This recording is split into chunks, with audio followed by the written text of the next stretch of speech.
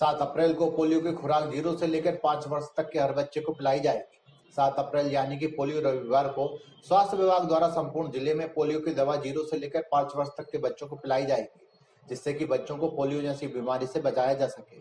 Ground reporter आप सभी से अनुरोध करता है कि अपने सभी पाँच साल तक के बच्चों को पोलियो की खुराक इस रविवार को ज़रूर पिलाएँ। बात ठीक सर। हाँ फालतू बातों को मतलब ही नहीं रहता हो हाँ नहीं नहीं वो तो सब फैसला है अपन तो अपील कर रहे हैं बस हो गई है मैं मुख्य चिकित्सा एवं स्वास्थ्य अधिकारी डॉक्टर पी उनकर गुना आप सबसे अपील करता हूँ कि आने वाली सात अप्रैल रविवार को आप अपने ज़ीरो से पाँच वर्ष के सभी बच्चों को नज़दीकी पोलियो बूथ पर ले जाकर पोलियो की दो बूंद अवश्य पिलाएँ।